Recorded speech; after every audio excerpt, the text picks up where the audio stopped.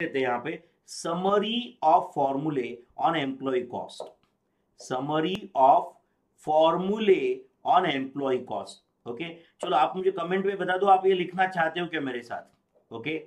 आप मुझे please comment में बता दो, आप ये लिखना चाहते हो क्या? एम्प्लॉय कॉस्ट के जो जो फॉर्मूले हमने लिखे, सीखे, वो एक जगह पे लिखते हैं, ताकि आपके रिवीजन के लिए थोड़ा काम में आएगा, बच्चों। यस और no summary of formulae on employee cost हाँ चलो फॉर्मूले बच्चों थियरी नहीं। Okay okay, formulae okay okay? चलो बोलो। First total wages as per time rate scheme write down बच्चों total wages as per time rate scheme is equal to is equal to चलो लिखो मेरे साथ लिखो बच्चों सब लोग। मैं जानता हूँ आप ये सब फॉर्मूले आपको याद है। सब आप यूज़ कर सकते हो। जस्ट हम रिवीजन पर्पज के लिए लिख रहे हैं। क्योंकि चार महीने के बाद में जब आप सेकंड ग्रुप में बिज़ी रहोगे ना बच्चों, उस वक्त हो सकता है कि आपको ये फॉर्मूले याद ना आए। पॉसिबल है। बट आप, अगर आप ये पेज देखेंगे, आप पूरा वापस रिकलेक्ट कर जाओगे। Hours work into rate per hour hours work into rate per hour total wages as per time rate scheme अच्छा आप days work into rate per day weeks work into rate per week चल सकता है। Ultimately ये time की बात है। Okay then total wages as per total wages as per piece rate scheme total wages as per piece rate scheme हाँ बोलो। As per piece rate scheme total wages क्या है? तो टोटल वेजेस होता है, बोलो बच्चों number of units produced into rate per unit number of units produced into rate per unit is the formula for total wages as per piece rate scheme या P O piece rate per unit की जगह हम लिख सकते ordinary piece rate per unit ordinary piece rate per unit okay and ordinary piece rate per unit या straight piece rate per unit find करने के लिए मेथड होता है wages per hour into standard hours per unit standard hours per unit और wages per hour divided by standard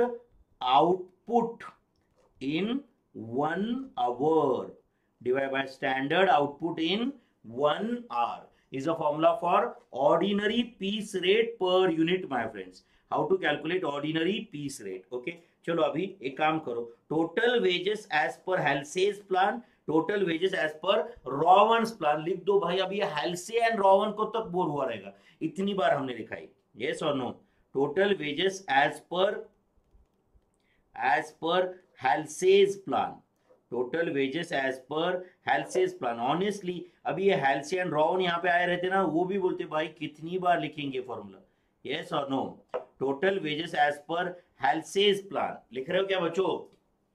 yes total wages as per Halsey's plan is equal to hours work into rate per hour hours work into rate per hour plus 50 percent of time saved 50% of time saved into rate per hour 50% of time saved into rate per hour are the total wages as per Halsey's plan my friends चलो लिख रहे हो क्या बता दो then total wages as per total wages as per Rowan's plan या total wages as per Rowan's premium plan, my friends so as per rowan's premium plan, formula is hours worked into rate per hour चलो बच्चों, लिख रहे हो क्या मेरे साथ?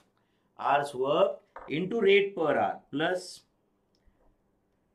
time saved divided by time allowed time saved divided by time allowed into basic time wages and obviously basic time wages मतलब hours work into rate per hour hours work into rate per hour ये हो गए total wages as per Rowan scheme अच्छा time saved का क्या formula बच्चों time saved is equal to time allowed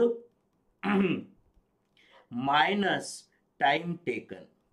Time allowed minus time taken अच्छा time allowed मतलब क्या होता है बच्चों? It is as good as standard time time allowed is standard time and time taken is actual time ऐसे लिख देता हूँ मैं तो standard time minus actual time is time saved is time saved अच्छा स्टैंडर्ड टाइम कैसे calculate करते हैं बच्चों?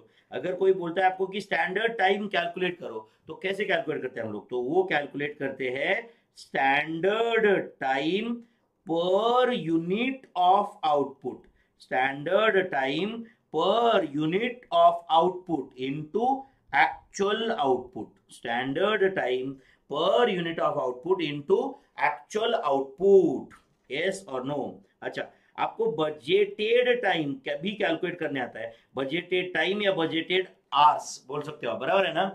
बजेटेड टाइम कैसे कैलकुलेट करते हैं? It is standard time per unit of output standard time per unit of output अच्छा मैंने इसके पहले स्टैंडर्ड टाइम की जगह स्टैंडर्ड आवर्स ऐसे बोला रहेगा। उससे कोई फ़र्क पड़ता है कि बच्चों? Into budgeted output into budgeted output correct है? Is the formula for budgeted time is the formula for budgeted time hope you remember this my friends okay अब बताओ what is the formula for efficiency ratio और इसको हम बोलते हैं productivity ratio efficiency ratio और productivity ratio का क्या फॉर्मूला है? हाँ बोलो। एफिशिएंसी रेशो और प्रोडक्टिविटी रेशो का फॉर्मूला माय फ्रेंड्स तो formula is standard time standard time divided by actual time standard time divide by actual time into hundred और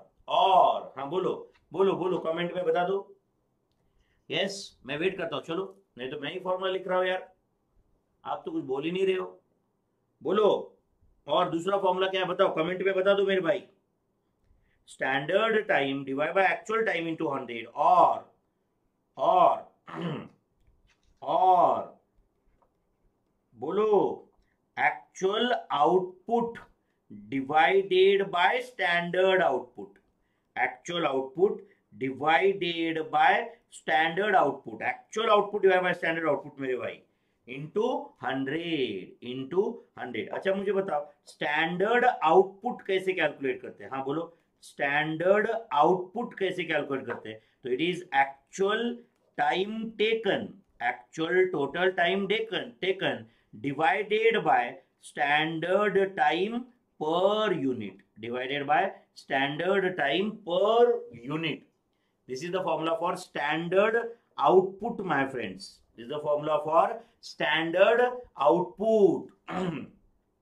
याद है क्या आपको ओके नेक्स्ट अब बताओ बच्चों labour turnover ratio labour turnover ratio by by replacement method labour turnover ratio by replacement method का क्या फॉर्मूला है? Labour turnover ratio by replacement method. तो उसका फॉर्मूला है number of workers, number of workers replaced during the period.